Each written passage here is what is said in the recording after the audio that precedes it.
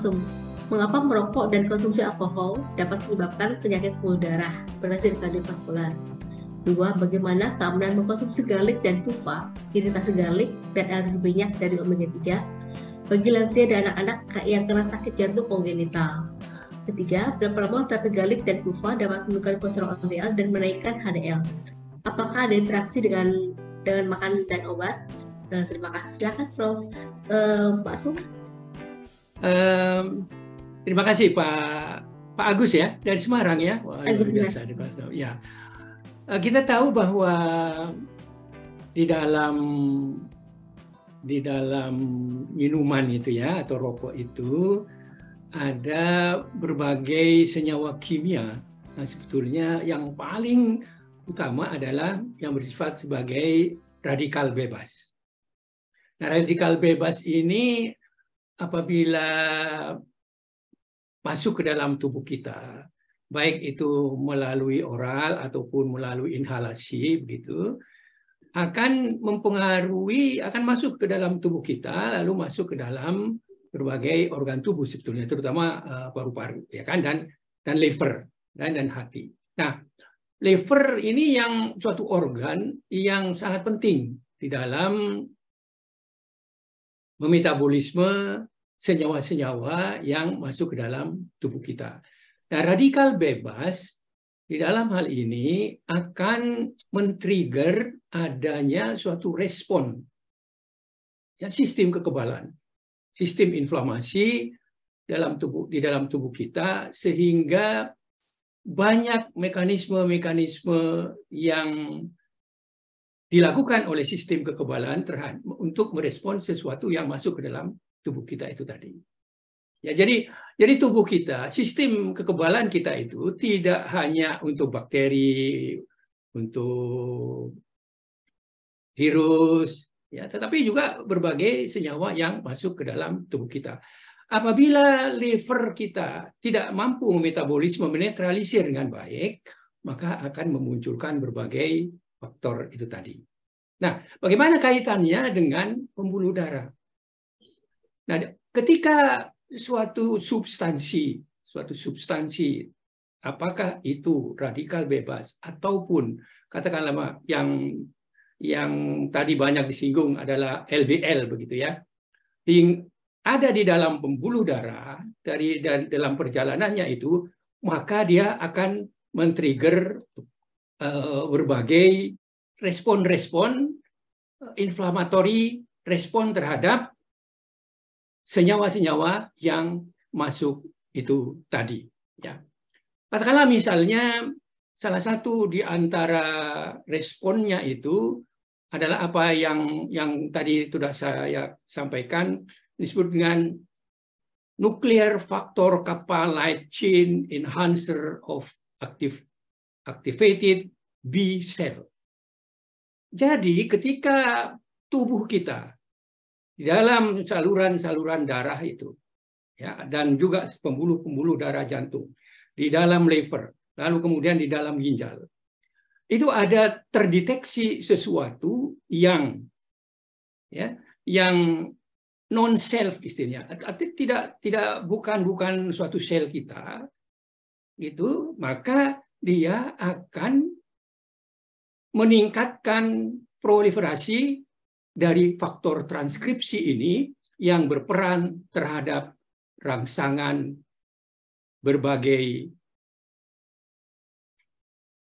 senyawa kimia, baik itu radikal bebas, logam berat, iri, iritasi misalnya, lalu kemudian LDL yang teroksidasi, sitokin misalnya, nah itu akan akan direspon oleh tubuh kita. Nah apabila responnya ini atau plaknya itu terbentuk walaupun sedikit sedikit lalu kemudian apabila direspon untuk oleh orang tertentu maka akan ada cedera di lapisan mukosa dari pembuluh darah ini tadi. Kenapa demikian? Karena sistem kekebalan itu lalu mencoba untuk membuat suatu lesi di situ membuat suatu eh, cedera di situ.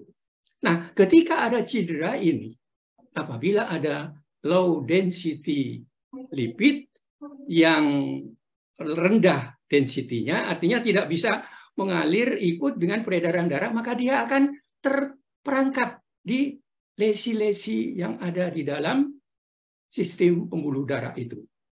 Apabila ada kemudian masuk lagi, masuk lagi dengan kan tidak tidak sehari dua hari, bisa bertahun-tahun, maka itulah yang disebut dengan terjadinya suatu penimbunan plak dan menimbulkan suatu peningkatan-peningkatan dari ya dari dari plaknya itu sehingga terjadi penutupan dari pembuluh darah. Kalau pembuluh darahnya itu ada di jantung, ada di otak, bisa dibayangkan apa yang akan terjadi.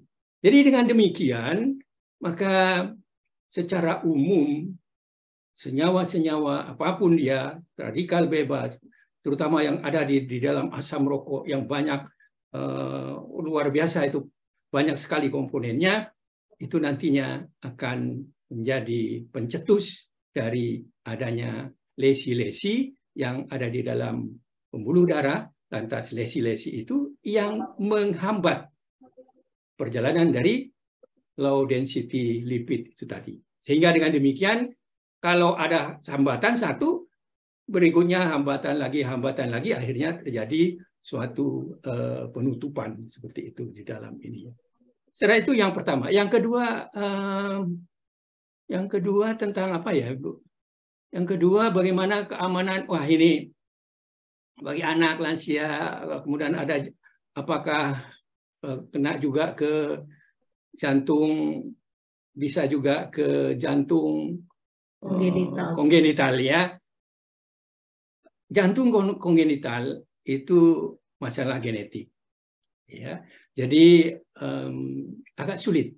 Jadi sulit sekali untuk di terapi secara biasa.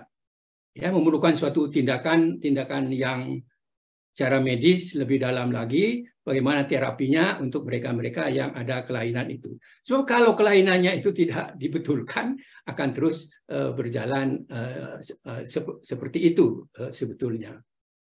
Lantas bagaimana sebetulnya kalau misalnya kita uh, ingin melakukan suatu mengkonsumsi um, apa tadi garlic ya yang dikonsumsi ya memang pada dasarnya mengkonsumsi bawang putih ini membantu mengendalikan tekanan darah tinggi. Sehingga dengan demikian tadi disampaikan dapat menjaga kesehatan jantung dan pembuluh darah. Namun demikian ada beberapa efek yang tentunya perlu diperhatikan. Sebagai farmasis, sebagai apoteker hendaknya bisa menyampaikan ada beberapa risiko bagi kesehatan apabila terlalu banyak. Nah, inilah yang yang menjadi peran kita sebagai uh, informer ya, sebagai drug informer. Yang pertama efeknya terutama yang tadi ada pertanyaan kalau tidak salah ya. Bagaimana kalau bawangnya itu bawang putih, bawang putih itu adalah yang mentah gitu. Memang banyak yang mengkonsumsi bawang mentah tidak diolah dulu. Tapi ada juga yang difermentasi misalnya, jadi black garlic misalnya seperti itu.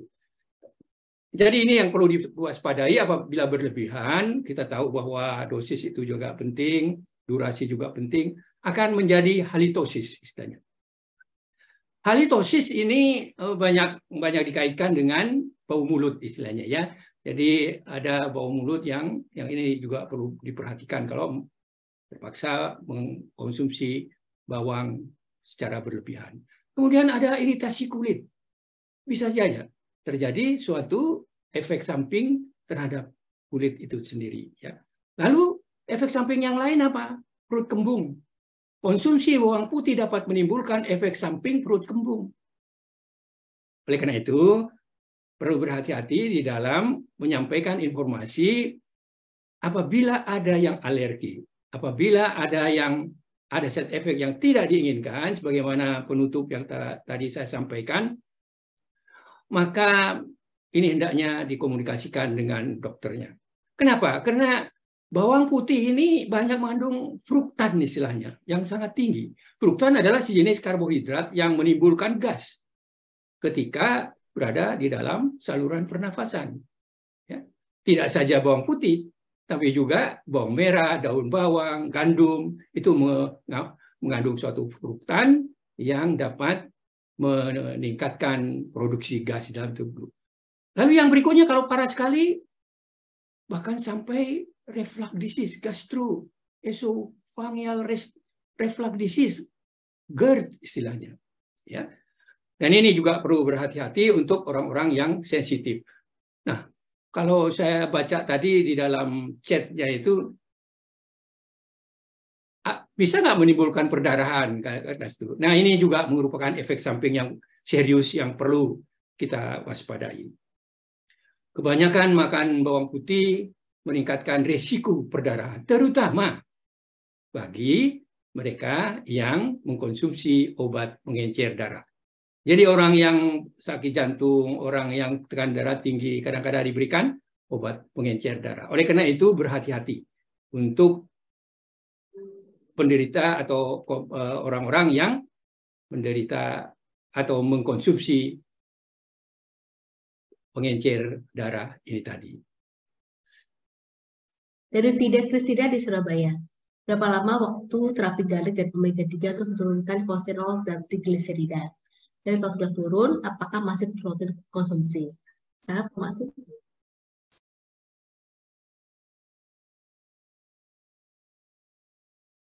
Baik, terima kasih. Wah, ini eh, pertanyaan yang yang bagus juga ini ya. Uh, sulit juga pertanyaannya. Gimana saya menjawabnya? Bagaimanapun juga kita harus melihat ada tidak penelitian yang menyatakan bahwa seberapa lama sih sebetulnya yang yang optimal makan bawang ini dan uh, terus uh, juga suplemen herbal ini saya ingin menyampaikan um, sedikit telaah salah satu penelitian yang yang dipublish oleh American Academy of Family Physician menyarankan bahwa orang dewasa ya orang dewasa itu hendaknya membatasi ya, konsumsinya tidak lebih dari 4 gram atau satu dua siung bawang putih per hari. Itu. Ya, mesti begitu eh, disebutkan di dalam publikasi tersebut toleransinya setiap tubuh orang itu berbeda-beda. Nah, ini sulitnya. Ya kita tahu bahwa suatu uh, suplemen belum tuntas betul uji kliniknya, walaupun uji-uji klinik fase 1, 2 sudah banyak dilakukan. Ya, oleh karena itu kita masih tetap ini sebagai complementary alternative medicine menganggapnya. Ya. Jadi kita perlu perlu mewaspadai jika dirasakan adanya efek sampingnya itu tadi. Ya. Terus berapa lama sebetulnya? Nah ini ini yang yang sebetulnya juga uh, sulit sulit uh, untuk di untuk dijawab ya.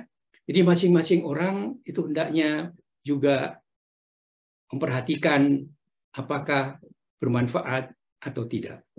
Yang jelas bahwa apabila ini dikonsumsi dengan baik ya selama nanti bisa bisa ada bisa yang apa namanya bisa kita kita cari informasinya lebih lanjut berapa lama sebetulnya ini dapat diberikan ya. Di dalam berbagai penelitian bisa sampai katakanlah misalnya 8 minggu. Misalnya 8 minggu gitu. Ada yang menyatakan bisa lebih dari itu. Itu bisa diberikan. Dan saya ingin menyampaikan bahwa apabila kita mengkonsumsi obat-obatan, mengkonsumsi suplemen, hendaknya dibarengi dengan adanya cek secara rutin. Sekarang banyak terdapat secara secara apa namanya eh, tes-tes yang digital itu tes darah, tes kolesterol, ya tes darah, gula darah, tensimeter dan lain sebagainya. Itu hendaknya menjadi bagian dari anjuran kita terhadap pasien, terhadap orang-orang yang mengkonsumsi ini agar juga bisa berhati-hati. Apakah ini langsung sembuh atau tidak? Sebagaimana tadi saya sampaikan, paradigmanya adalah paradigma sehat. Jadi artinya kita menjaga tubuh kita agar jangan sampai kelewatan, artinya terlewat deteksinya, terlewat diagnosisnya, sehingga sudah menjadi sudah parah sekali. Sehingga dengan mengkonsumsi bawang putih, mengkonsumsi omega 3, ini pun juga dapat dimonitor dengan baik. Apakah efeknya? Apakah efek sampingnya? Dan dengan demikian mudah-mudahan kita semua bisa menyampaikan informasi ini dengan sebaik-baiknya kepada pasien atau kerabat ataupun orang-orang yang akan menggunakan suplemen.